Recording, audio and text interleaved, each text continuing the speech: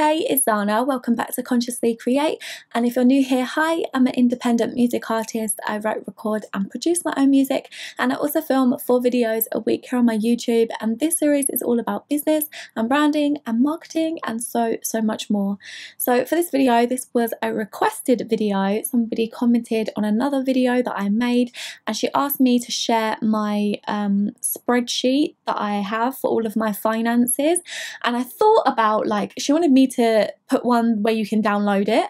And I thought about it, but for myself, I'm still kind of figuring it out. So I don't really want to give something to somebody and it not be a 100% accurate.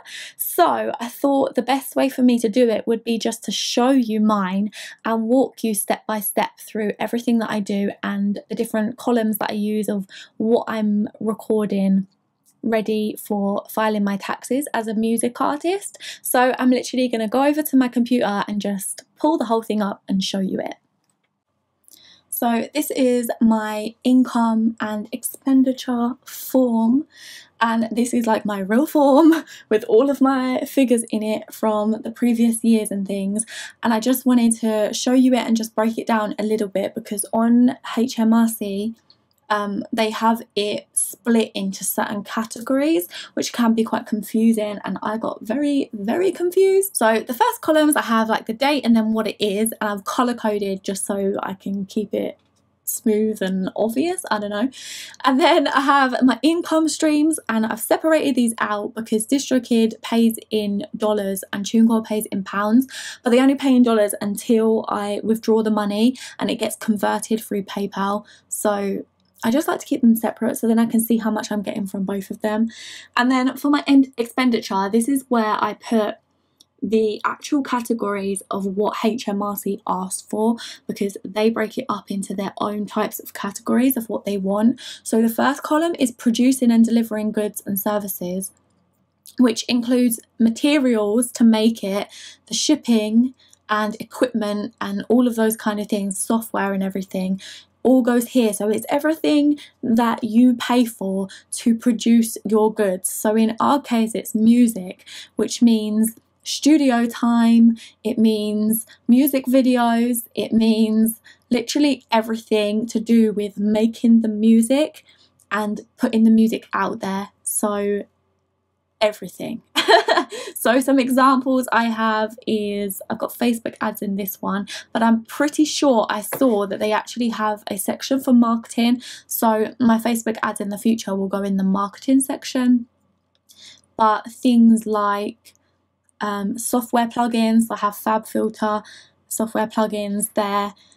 Um, more Facebook ads, Facebook ads, Printful, which was my merch so TuneCore, where I had to pay TuneCore, like Waves, where I bought more plugins, music video that I paid for, like all of those kind of things get put in this section. You know, more music video that I paid for. Um, Splice, which is a like sample company where you can get lots of samples royalty free. More business cards like all kinds of things, you know, that all go in this section because it's how you produce and deliver your goods. So, your music, your merch, your whatever other income streams you have, whatever kind of creative projects you have, how you create them is this one. How you distribute them is in the next one. So that includes packaging, transporting, and storing your goods. And I don't know whether distribution companies like DistroKid and TuneCore come under that. I've put it under that, but I don't know whether it does because I feel like the music music kind of products are completely different to physical products. So I don't know. But I've put all of my DistroKid fees in the distribution column because it's called a distribution company, DistroKid is. So I figured it will come under that com like it will come under that column, but I don't actually know if it technically does but this is what the accountant will figure out for you because I don't know. so we have producing and delivering the goods, then you have distribution, distributing the goods, including transporting and storing your goods. So if you have like merch stored in a warehouse or something, then that cost would go in that column. Then you also have admin and bank fees as another column And then you have tangible assets, which is like your equipment, your stock. So if you have merch, stock, that would go there. So in distribution would be the cost of actually storing the merch. So like if you have warehouse fees, the fees for the warehouse, but then if you have how much you paid for the stock, how much you paid for the merch would go in this column. If it's a tangible asset, like if you have the merch stored in your house or wherever, then it's an asset that you have. So that would go in your tangible assets as well as like your computer, any kinds of equipment that you have, any vehicles that you have that are for your business, and any property that you own for your business.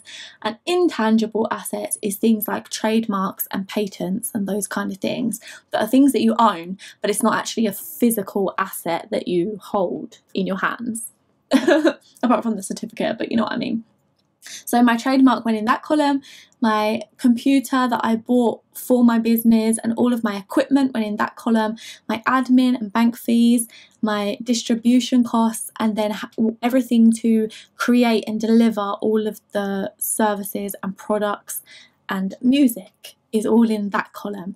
And that's how I separate it out and then I color code it in relation to the right one. And I, I literally got these um, what they're called and everything from HMRC when I went to submit my taxes because I had this listed out as like travel costs was one column and software plugins was another column and my website was another column and like all of these things were separated out into so many columns and they don't want that they want it all combined. So I had to go back through and combine it all together and put it I put it in the with the headings that they have because it's what they want, because it's on their bloody form thing. So that's just how I broke it down. I don't know if it's accurate, if it's correct, because this is my first year doing it, so don't judge. This is why I didn't want to put it publicly for everyone in case it's wrong.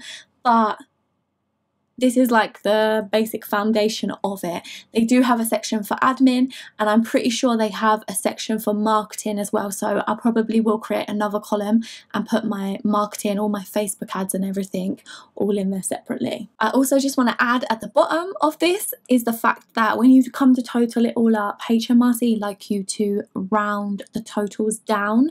So make sure if you're doing this yourself, that you keep a track of what you've actually submitted because it's not going to be the 100% accurate figures.